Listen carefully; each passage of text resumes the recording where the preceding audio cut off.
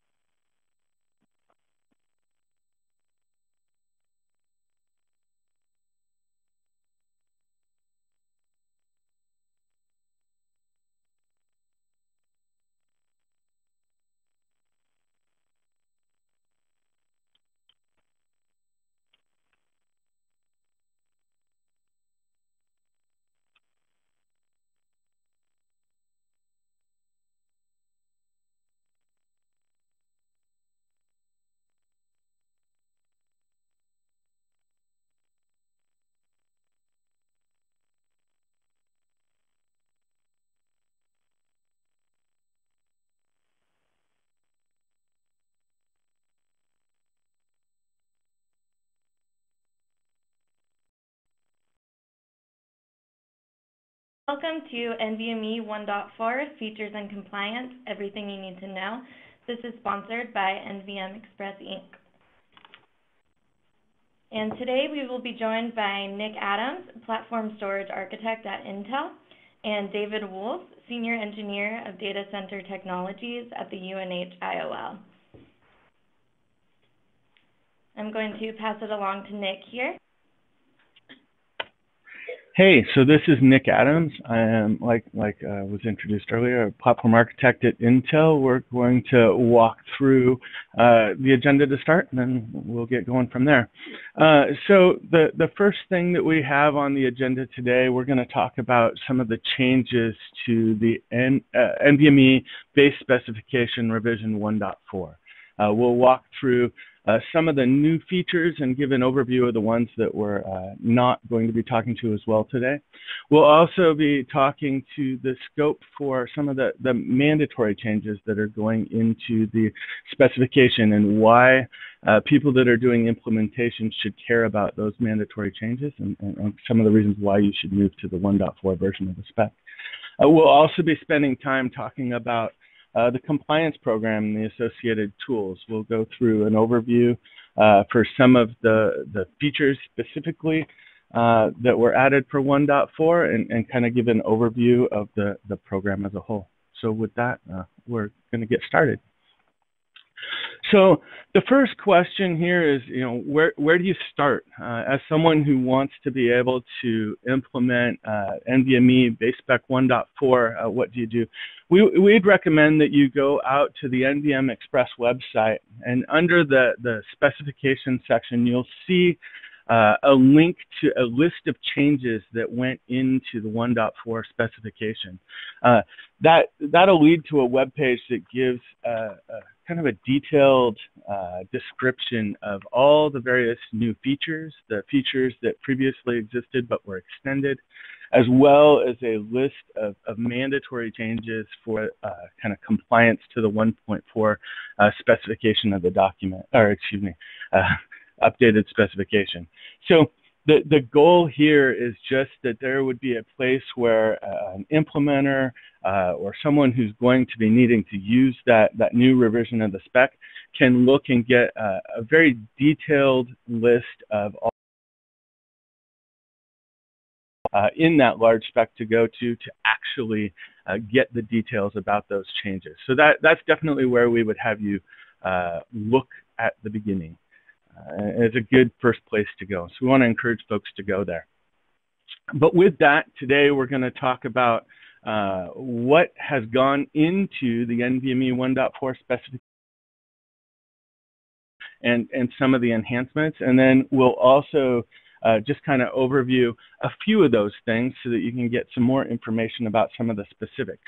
Uh, so as you look here on, on the next slide, we have a list of uh, just new features that went into the spec. Um, we're going to go over today uh, IO determinism, some of the features do for you. We'll talk about IO performance and endurance hints. Uh, we'll talk to the persistent event log, namespace write protect, the verify command, and rebuild assist. But in addition to those changes, uh, there's a number of other things that went into the specification that we, we would encourage you to, to read about inside the spec itself. Uh, that list is here on the right. Um, but some of the major ones there, uh, the persistent memory region, asymmetric namespace access, and, and, and NVM sets, although we'll, we'll touch on sets today as well. Okay. Moving from there. So the first piece that we wanted to talk to is IO determinism. And, and, and kind of the, the infrastructure that's needed for IO determinism is NVM sets. Uh, what NVM sets are is a, is a mechanism to be able to take an SSD and split it into multiple different quality of service isolated regions. Um, and, and what's going on here is effectively, you know, as you create namespaces inside of an NVM set, uh, actions, you know, the quality of service, the response time, the latency that happens inside of one set will not impact the quality of service that's happening inside of another set. So this is a key aspect of this set construct. So as you uh, create multiple sets, even inside of a single device, that quality of service is separated. Now that doesn't apply to namespaces that are inside of the same set. Those will have impacts on each other. However, namespaces that are created in different sets uh, will have that quality of service kind of isolation. And, and so that's a key uh, construct that is uh, added to NVMe 1.4. As we move forward from there, uh, one of the other key pieces of IO determinism is this thing called the predictable latency mode. And so what this does is it allows you to take advantage of that, that service uh, kind of isolation that the NVM sets provide you. And it basically creates two types of windows. There's one window of time that's called the deterministic window, and another period of time called the non-deterministic window.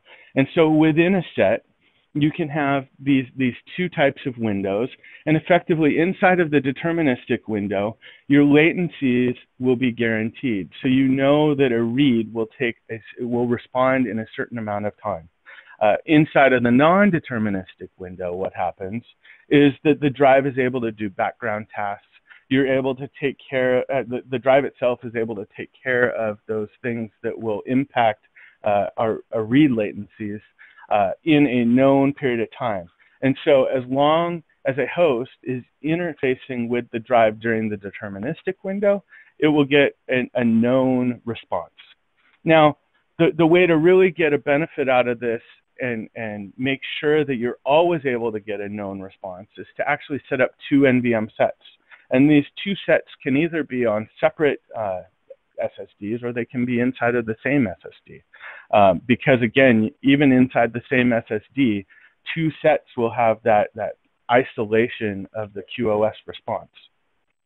And so um, with this, basically, if you have the same data in two NVM sets, you can make sure if you offset them, if you kind of have like a phased offset between the uh, when those deterministic and non-deterministic windows are uh, kind of aligned in time, then you're able to always be able to be inside of a deterministic window uh, for the same set of data.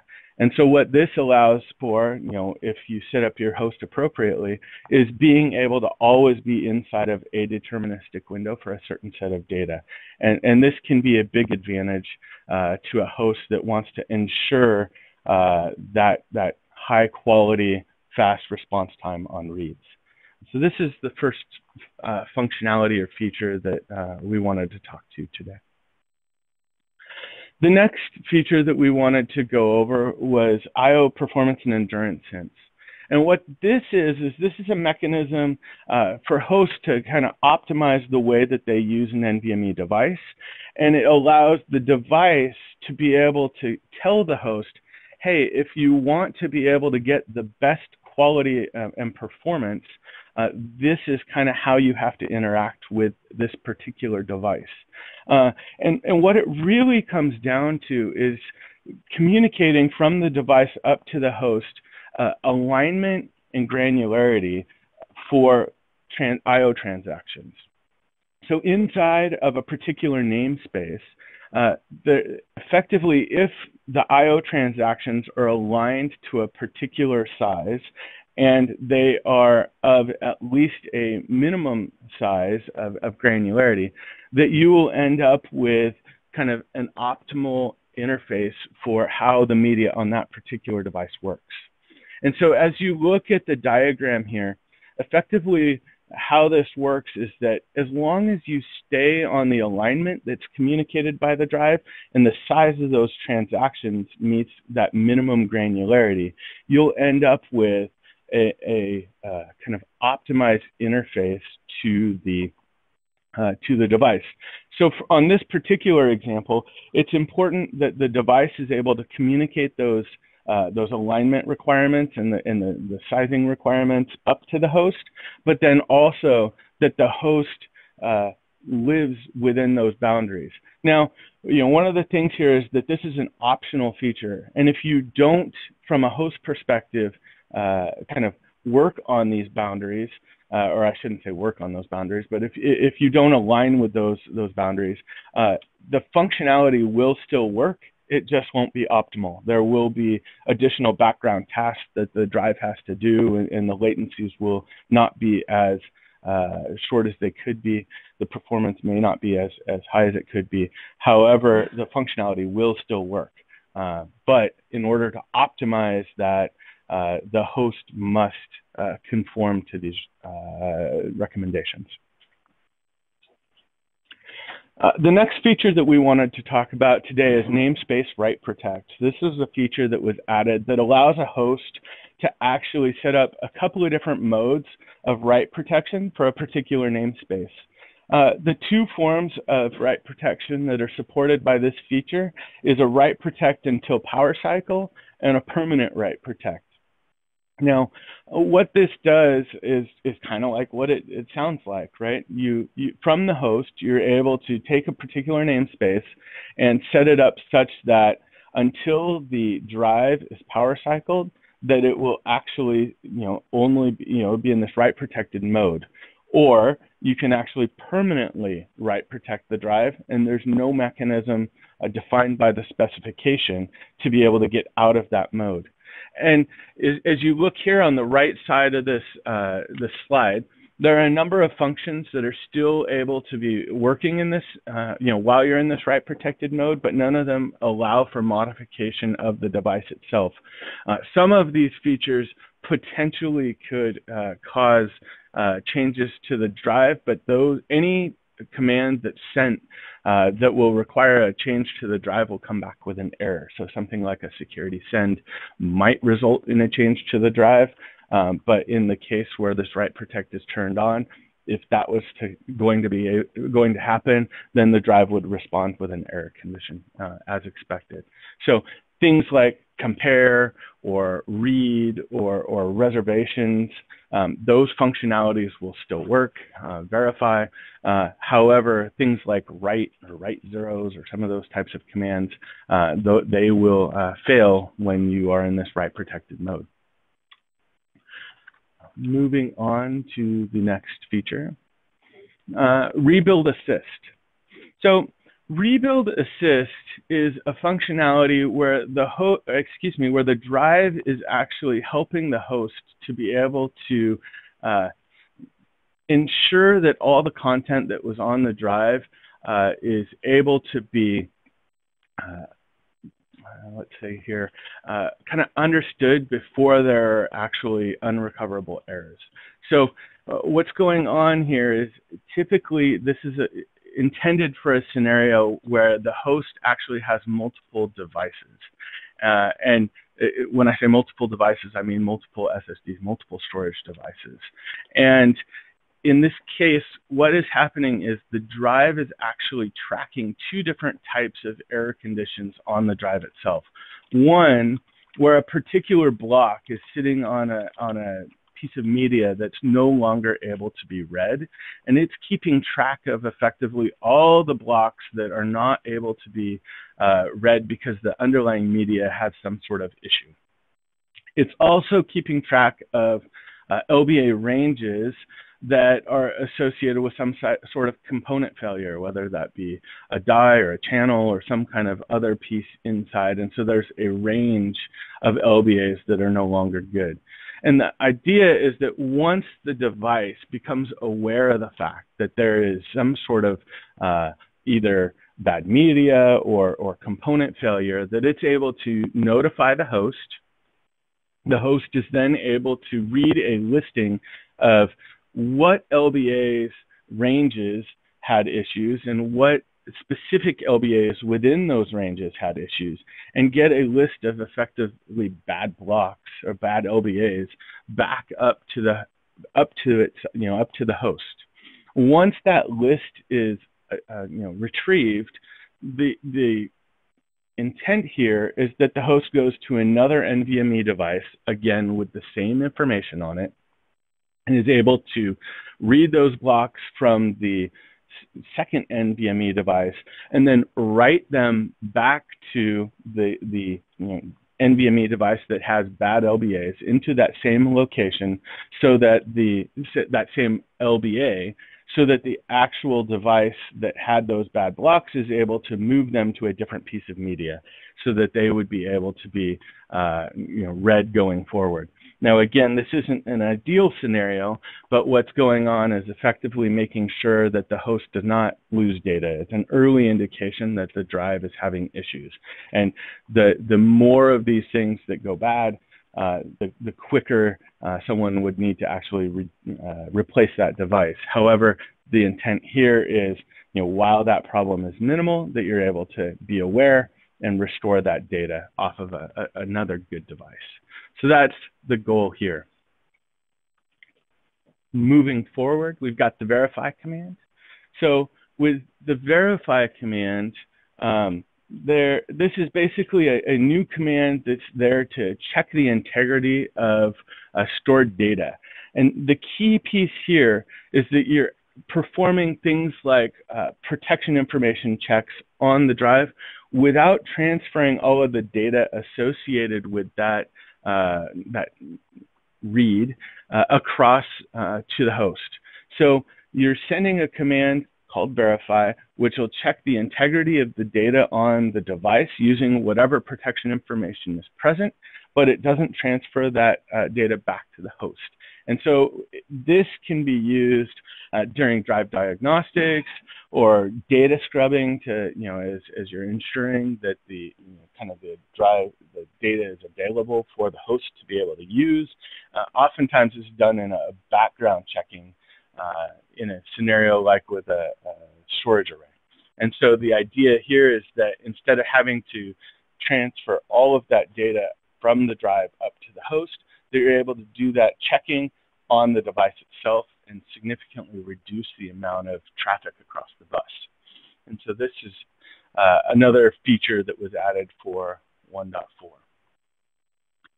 The last feature that we wanted to talk about uh, today uh, that was added is around uh, enhanced telemetry capabilities and specifically uh, the persistent event log. Uh, with the persistent event log, what we've added is a mechanism that allows SSD uh, vendors to be able to add uh, information about some uh, you know, kind of you know, cross uh, you know cross platform types of uh, errors that are common uh, or or scenarios you know things like firmware commits where the implementation of a firmware update is very specific to a particular vendor information about the status of that, that, that firmware update uh, is nice to be able to be in a consistent format across across vendors for the host uh, kind of collection of that data. Uh, so instead of having to have vendor-specific information for all of these different kinds of events, uh, you can collect that vendor-specific information in a very consistent across vendor type of way. And so this, you know, there's there's many different types of events that are uh, kind of defined here. Things about health, uh, like I said, firmware commits, timestamps, power-ons and resets, uh, thermal excursions, you know, again, vendor-specific things, uh, TCG or security-defined events, uh, hardware errors, namespace changes, uh, set feature events, formats, and sanitize operations. And so again, not only is there consistency in how these uh, events are reported up to the operating system, but also that they persist across resets, they persist across power cycles. Uh, and the value that we see here is that uh, the, the SSD devices are able to define mechanisms that are able to be used for debug across different vendors, uh, excuse me, across different OSs, and that, you know, from the host side, uh, regardless of the SSD vendor that you're working with, you can collect the, the consistent information uh, across devices. And so that's the value that we see uh, inside of this feature. So uh, Next, I wanted to talk to you all about some of the uh, required and incompatible changes that are going into the 1.4 specification. So as we move from NVMe uh, 1.3 into NVMe 1.4, uh, there are a number of kind of areas where we went through and provided additional clarity in the specification. And some of those areas uh, required some uh, kind of incompatible changes between uh, revisions of the specification. And so uh, I wanted to kind of talk to some of the some of the changes that went in here, and, and really what our goal is is to kind of point out some of the the value in those changes, so that folks understand both how to get at that list, like we talked about earlier with the changes that were on the website, but also what are the impacts of not making those changes. Some of these things are bug uh, fixes and or uh, kind of um, yeah, it, it's around basically clarifying behavior so that there's consistency in the ecosystem. So we have things here like uh, new NSID namespace identifier uh, value usages. Uh, there's error and reporting requirements, clarifications around temperature thresholds, uh, some enhancements around the controller memory buffer and persistent memory region. There's uh, new requirements around sanitize, uh, reservation notifications, and, and the logs associated with that. Uh, we specified some of the LBA range feature behavior. Again, there's uh, some clarifications there just for consistency. Um, reservation reports and also some new abort command behavior. Uh, this isn't a, an exhaustive list, but these are general areas where changes went in. Uh, on that uh, website kind of change list, that actually has an exhaustive list, and we encourage you again to uh, go and look there. But I want to dive into two of these specific areas. Uh, one is the mandatory changes that are associated with the controller memory buffer. Uh, one of the big changes that went on here is we added a flag inside of the device representing support for the controller memory buffer as well as an enable bit. Uh, previously, it was undefined uh, effectively whether or not the, the controller memory buffer was enabled by default. And so it generally was, but uh, what happened there is that some operating systems or some hosts were unaware or didn't have support for the controller memory buffer, and that led to some uh, potential for for security holes. And so we wanted to clean that up. And so one of the things that we did there is basically require that the enable of the controller memory buffer is off or disabled by default. And effectively, the host then has to check for support for the controller memory buffer and enable it in order to make use of it. And what this does is it really uh, cleans up some of those uh, potential security issues that could be there for a specific implementation. Uh, in addition to that, we removed some restrictions around the usage of the controller memory buffer. Uh, previously, the submission queue entries, completion queue entries, and data all had to be inside of the CMB or they had to all be inside of the host. And with the, the updates to 1.4, uh, we now allow for a mechanism to be able to have only the, the, the SQ or CQ entries or only the data uh, and, and not require all of it to be present inside of the CMB. So this is a, a, a more flexible implementation. Um, and again, that will depend on the, the specific device that you use and from which vendor. Uh, however, the mechanism for allowing that type of support is now present. The, the second mandatory change that we wanted to talk about was with regard to the namespace ID or NSID value of all Fs. Uh, typically or historically, uh, the all Fs was an indication that this was a broadcast action that was to be done across all namespaces. Uh, but in some particular uses, that didn't really make sense. Uh, it was kind of unclear for a particular command or a particular uh, set get features uh, command uh, or certain admin commands. Like, what does it mean to do all Fs in this particular case? What should, how should my response be on the device side?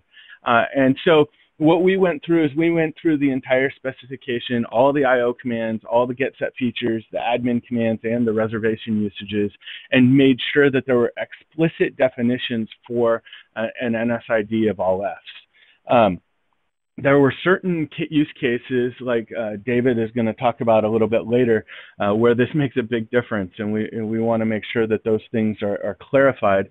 Uh, but the reason to make these changes is so that when a host actually goes and intends to use that, that NSID of all that there's consistent behavior across all vendor devices. And so that was, uh, you know, one of the other places where we made some changes that were backwards incompatible uh, and wanted to make folks aware. And so with that, uh, we'll move on to the section on compliance. And David, I'll turn over the presentation to you. All right. Thank you very much, Nick, and good morning or good afternoon to everyone out there. I'm David Woolf from University of New Hampshire Interoperability Lab, or UNH-IOL.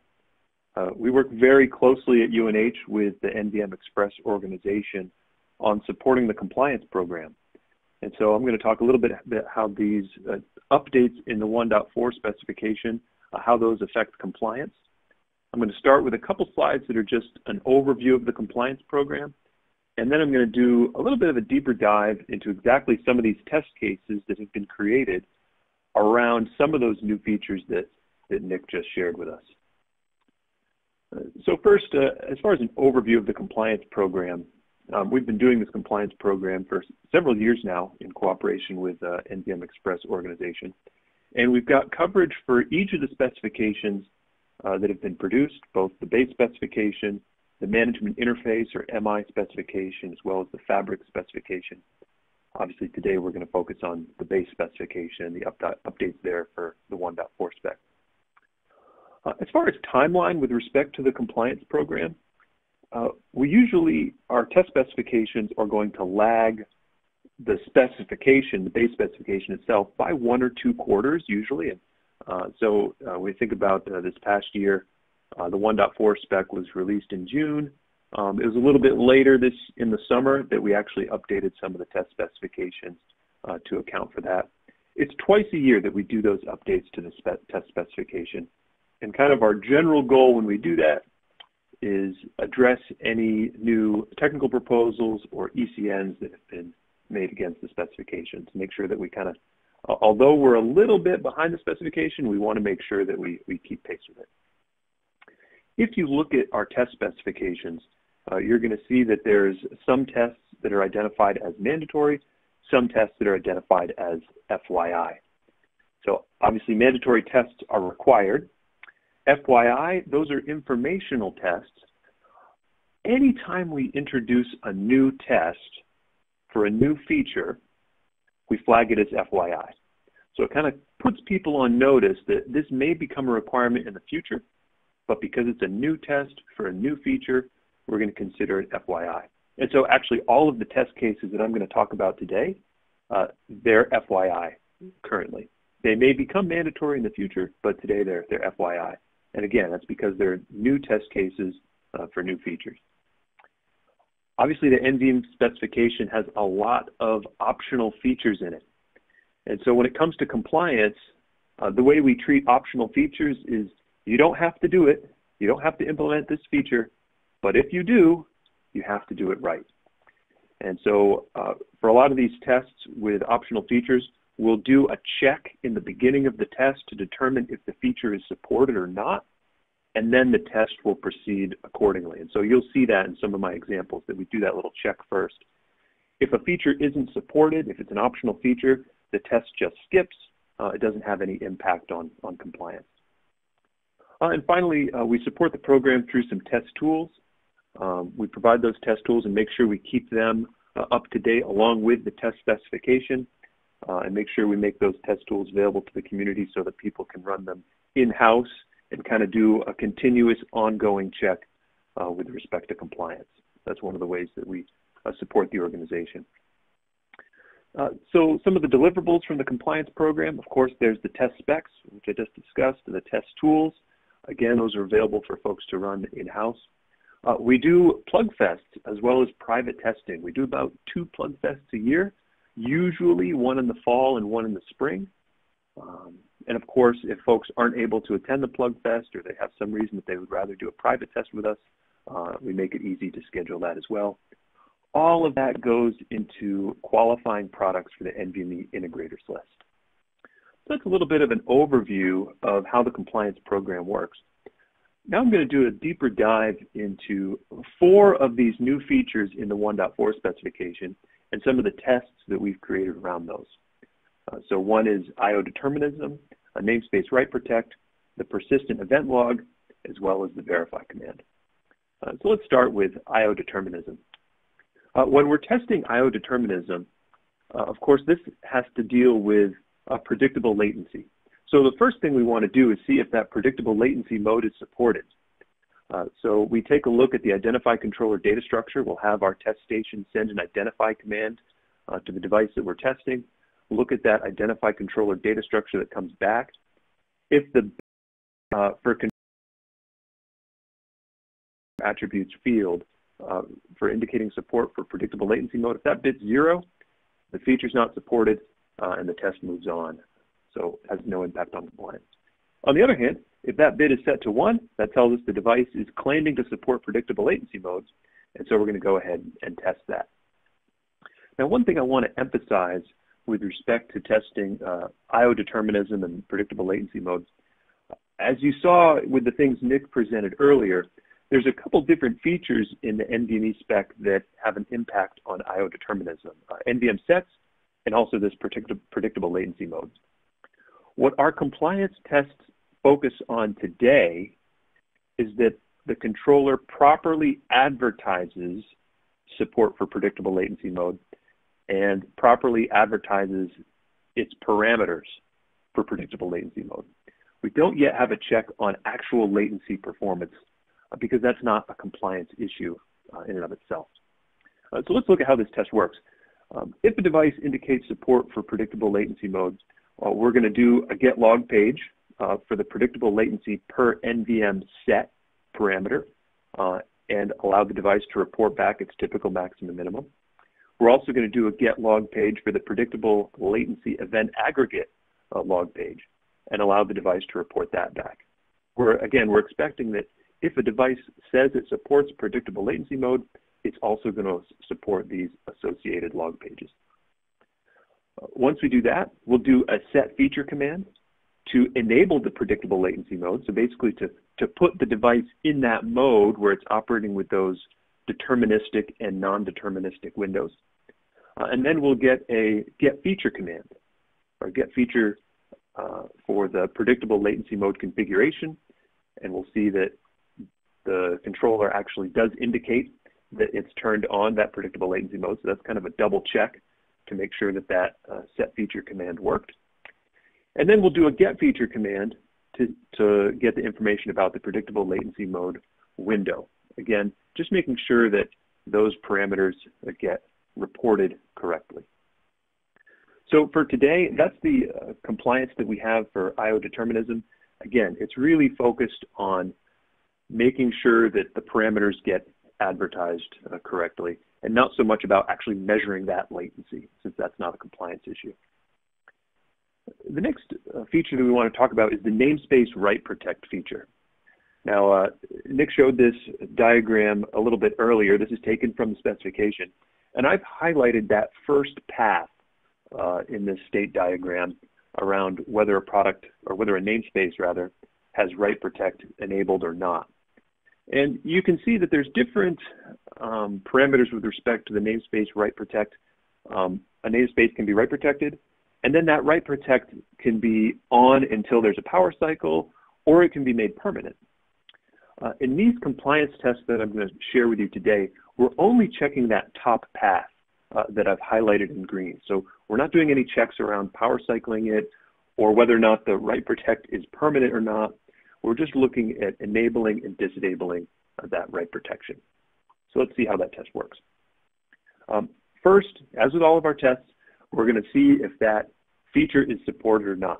So in this case, we do an identify uh, for the controller data structure. We get that back from the controller. If that uh, namespace write protection capability bit is set to zero, the feature is not supported, and we skip the test. On the other hand, if that bit is set to one, the device says that it supports uh, namespace write protection, uh, we'll do a set feature to make sure we turn off write protection. So we do a, a set feature for that uh, uh to turn on no write protection, and we expect that it comes back successfully. Now, the reason we do that is because what we want to do is write a pattern to the drive. And so you see in my example here, I write a pattern of, let's say, all A's to that namespace. We expect that to be successful. Then we send that set feature uh, again, but this time with write protection enabled. So we turned off write protection, we wrote a pattern to the namespace, and now we're turning on write protection. So you can see we're, we're toggling that feature off and on. Now, as we saw before, there's a number of commands that uh, can be uh, performed against the namespace and should uh, execute appropriately even when namespace write protection is turned on. And so uh, we run some of those commands. There's a device self-test command, get log commands, get feature commands, identify commands. All those are admin commands, which we expect to complete successfully even when a namespace has write protection turned on. There's also NVM commands that should execute successfully. So we do a read command, we do a flush command, verify command, compare command, if those are supported.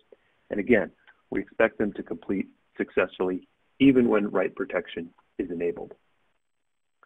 Now, commands that we expect to not be, successful are a write command. And so to make sure that that write protection has actually been turned on correctly, we're going to try and perform a write command with a new data pattern to that same namespace. And we expect that the controller is going to come back and say, oh, there's a problem. That namespace is write protected. Then we'll do a read command and make sure that we still see that original data pattern that we wrote. So not only was that write command uh, rejected, but also it didn't have any effect on the data that was actually in that uh, protected namespace. Then we'll toggle the namespace write protection again. We'll turn it off, and we'll try and write a new pattern. So here you see uh, now we've unlocked that namespace. We write a new pattern, perhaps in this case all C's. We expect that write command to complete successfully. We do a read command. We see that new pattern come back. We know that namespace write protection is working, and we can see that it's easy to toggle it uh, on and off, and the device is supporting that correctly. Uh, so that's how we check out uh, namespace write protection if it's supported. Another one of the features that uh, we looked at is the persistent event logs. Again, we always check and see first. Um, in log page attributes, we're going to check uh, if the device supports the persistent event log. And then we're actually going to go get that persistent event log page. So that's uh, we'll do a get log page 0D. Uh, that's what corresponds to the persistent event logs and the device is going to report back uh, its log. Then we're going to perform some kind of supported event. So the persistent event log itself, there's a number of events uh, that can be logged in the persistent event log. Uh, so we're going to perform uh, some of those events. Uh, it could be a set feature command, it could be a sanitize command, it could be a format command. Depends on what the device supports. We're going to perform one of those events and then do that get log page again. And we're going to get back a new persistent event log. And we're going to check and see, did that event that we caused actually get logged in the persistent event log? So we're expecting that the event log that we got previously and the event log that we get after that supported event happens, they shouldn't be identical. They should be different because uh, that log has been uh, updated. Then we're going to do a controller level reset. And this is where we're going to check uh, the persistence of the persistent event log. So we do that controller level reset, allow the device to come back from that reset, look for controller status ready to equal one. That means we've reset it, it's come back, it's ready to do NVMe operations again, and we do that get log page again for 0D for the persistent event log. Now we're getting a third persistent event log back. And we want to check, did what we see in the second persistent event log, it should match what we see in the third persistent event log because that log is supposed to be persistent over controller level reset. So that's how we're checking the functionality of the log, that events are being recorded properly, and also that it's persistent. The last feature that we're going to look at is the verify command. Uh, so this was a new command introduced in the 1.4 specification. And there's a couple things we're going to check with respect to the verify command. We're going to check its basic operation, and then we're going to also check that the use of the verify command uh, properly updates the smart health log page. But first, let's just look at the basic operation. Um, we're going to check for support of the verify command. That's indicated in ONCS bit 7 of the identify controller data structure.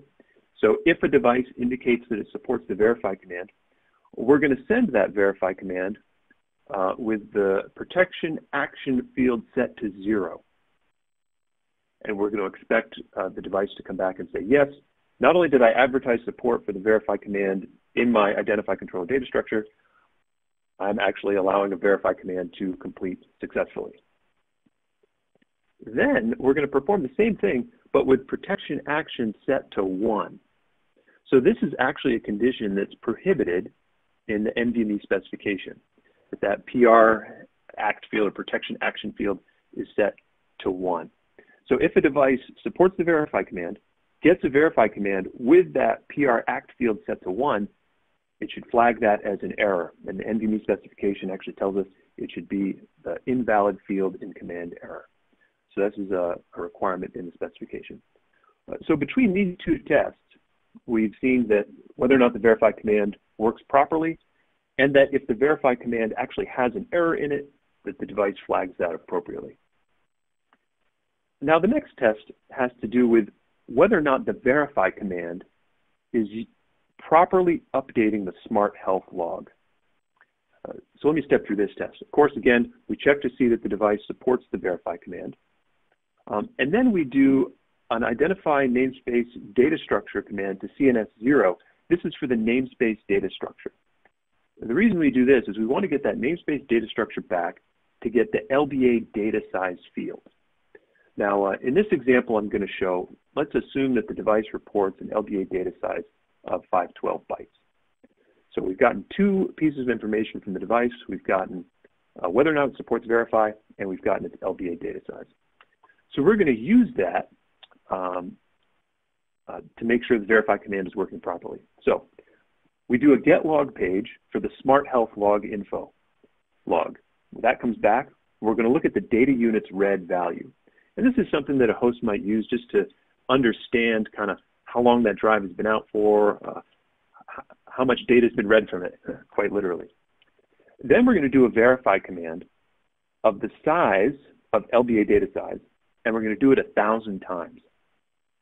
The reason we do that is that smart health info log should be incremented, the data unit's read value in that log should be incremented for every thousand verify commands of size uh, LBA data size.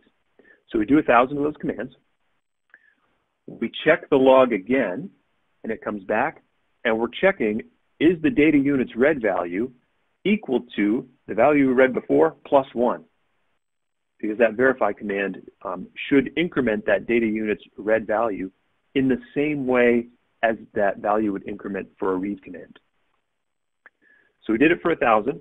Uh, now we're going to do it again, a 1,000 more verify commands, but with a larger size. We'll do it with a verify command of size two times LBADS. And we want to make sure that, again, that data unit's read value increases by two. Then we do it again, this time for a verify command of size 4x LBA data size. Again, we do that a thousand times, check the log page again, and make sure that it incremented by four. So, so really the requirement here is that the verify command is incrementing that data unit's read value in the same way that a read command would. And so that's how we check that. So just a quick wrap up on the compliance.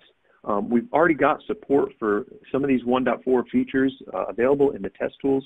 Really encourage people to, to download those and run them to check compliance. Uh, and of course, uh, provide feedback for us uh, on those new features. Uh, so that's a you know summary of what we're doing for compliance, and uh, we can hand it back now for Q&A. Thank you, Nick and David. Um, now we're going to move on to the Q&A portion. Um, can you give us an example of how NPWG and NPWA help improve I.O. performance? And can you also clarify how these hints differ from DSM? Sure, uh, I can definitely take that one on. So let's let's start with the second question first. You know, can you clarify how the the hints that are inside of the I/O performance and endurance hints differ from uh, data set management? So uh, with data set management, this is really a hint that's coming from the host to the drive so that the drive is able to prioritize and kind of configure how its background tasks work. So things like uh, how often is the host planning to write to this particular LBA? Uh, things along the lines of uh, is is the latency of this particular uh, LBA uh, critical or not? Whereas the I/O performance and endurance hints are much more about drive access and kind of the media access on the drive and hints about that up to the operating system. In other words, if you do accesses on a particular alignment, so think of it like it has to be on a on a you know, as an example, like an 8K boundary or something like that, or, or, or much smaller, but it, just on a specific boundary. And the size of those transactions must be at least a specific size. So again, you're talking about hints that go from the drive up to the operating system or up to the host so that the host is able to uh, kind of uh, make the most efficient and optimized accesses to the device. So basically, it's going the opposite direction as far as the hints with DSM. Now, with regard to an example about how do you make use of the uh, NPWG and the NPWA, so this would be the write uh, granularity and the namespace write uh, uh, alignment, uh, how do you use that to improve I/O performance? Uh, the backend media on the SSD devices already has these these write granularities and the write alignment requirements, uh, regardless of how the information is kind of interfacing with the host.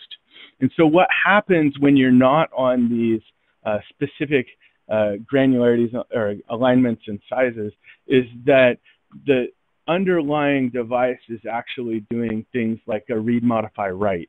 And so you're doing multiple reads, multiple writes to be able to actually do that transaction. And, and so how the IO performance hints actually uh, improve things is by making it so that the kind of the, the backend firmware that's inside of the SSD doesn't have to do those extra transactions. And, and as a result, uh, the performance of the overall system will go up if the host, uh, you know, kind of makes use of those hints from the device. And so hopefully that's able to answer those two questions. Thanks, Nick. Next question. Is there a timeline for full 1.4 compliance testing? Sure, I can take that one.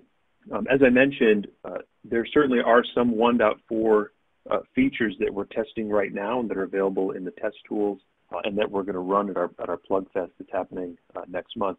Uh, but we don't have full 1.4 feature support yet. So our goal for implementing all of that is uh, spring of 2020. Um, after this Plug Fest, we'll get get to work on implementing kind of the, the balance, what's remain what's remaining of NVMe 1.4 features that we don't address yet. So uh, early next year, we should be getting that into our test tools and into the test specifications. Great, thanks, David.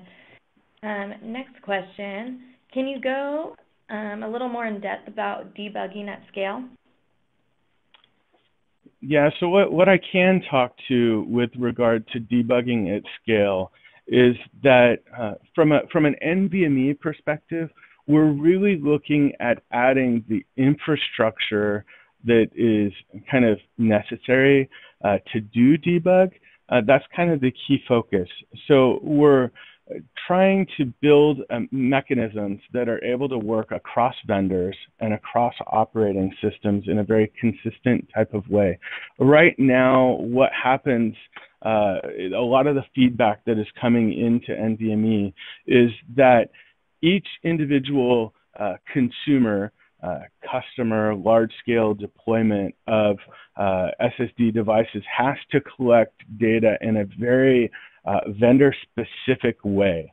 And so a lot of our focus is on how do we ensure that there are uh, mechanisms, both when it comes to uh, notifications, logging, data that is able to be collected that can be done in a vendor neutral way.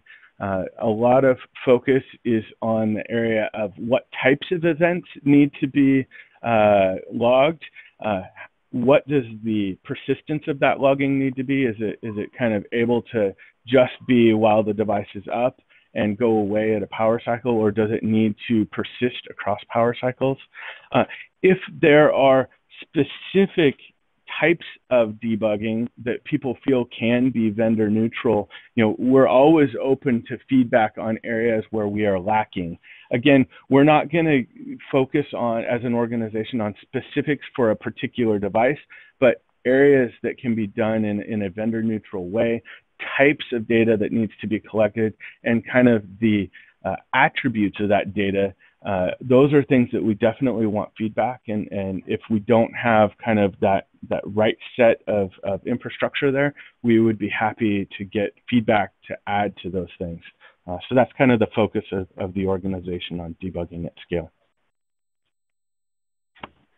Thank you. Next question. For namespace write protect and persistent event log, is there a way to test their persistence across power cycles? Yeah, I can speak to this one. Um, I was kind of expecting we might get a question about that uh, since we called out that we're checking persistence across controller level reset uh, for both of those features, but obviously the feature is intended to work across a power cycle. So um, certainly there are ways to test it across power cycle. Um, and you know we have ways of doing that in our lab. Uh, certainly people can do that in-house.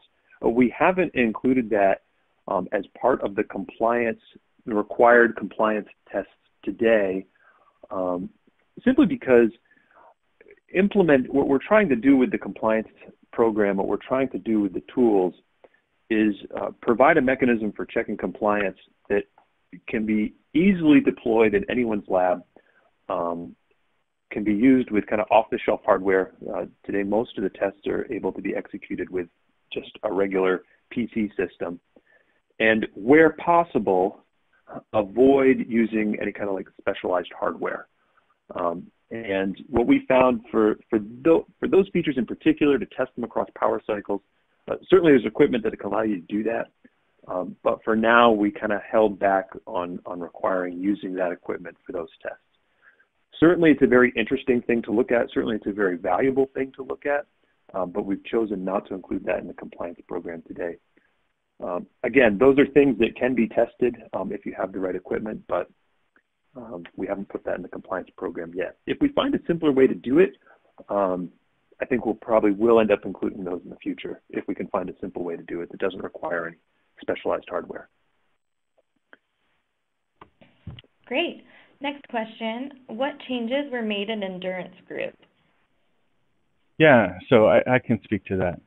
Um, actually, endurance groups are new to NVMe 1.4. Uh, the, the technical proposal for endurance groups was released uh, quite a while ago, but uh, when you look at it from a 1.3 to 1.4 transition, uh, endurance groups are, are actually a new feature. Uh, just as a kind of a, a, reminder on what endurance groups are, that's effectively um, they're a set of NVMe sets, or or just kind of like a uh, you know a group of NVM sets are put within a particular endurance group, and that endurance group effectively says across these uh, this area on the device, we are going to manage the endurance uh, kind of evenly. And so it's basically a communication about how the drive in its kind of back uh, back-end features manages endurance across the media for a particular group of NVM sets uh, and the namespaces that sit inside of those sets. Uh, but you know, to the to the main question, what changes were made to endurance groups? Uh, there there weren't additional changes on top of the uh, kind of original technical proposal as far as you know, defining what endurance groups were. Great, thanks for answering that. Um, next question, someone would like to know if the mentioned test tools are free of charge for everyone, or do you have to be a fee-paying member of the NVM Express community? Yeah, I can I can address that one. Um, no, they're they're not publicly or freely available.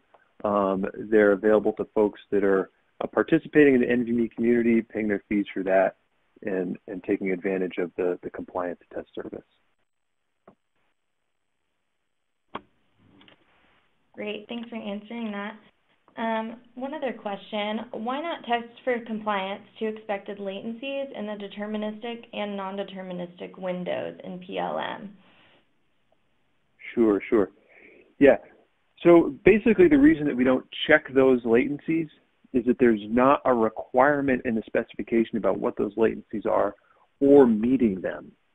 So the drive can advertise the, the, to the host the best way to use the drive, uh, but it's not a compliance issue around that latency. Now, one thing we're looking at uh, is adding some features to the tools to at least provide the user some information about what the latency was and then the user can tell if that you know is matching up with the advertised latency or not. But again, hitting those latency numbers isn't necessarily a compliance issue. However, it could be a qualification issue uh, for an end user, right? They want to make sure that um, a drive is actually hitting the latency numbers that, that it requires. So that's why we're, we're looking at maybe adding that info into the test tool, but it's not going to actually be a compliance test in its own right, since it's not a spec requirement. Good question. Awesome. Thank you, Nick and David, for answering those questions. It's looking like we're running out of time here, so we're going to conclude the Q&A section. Um, this webinar will be recorded and available for playback on the NVM Express um, BrightTalk channel. And as well, everyone can download the NVMe 1.4 specification on the NVM Express website, nvmexpress.org. Um, thank you all for joining us today. This is the conclusion of the webcast.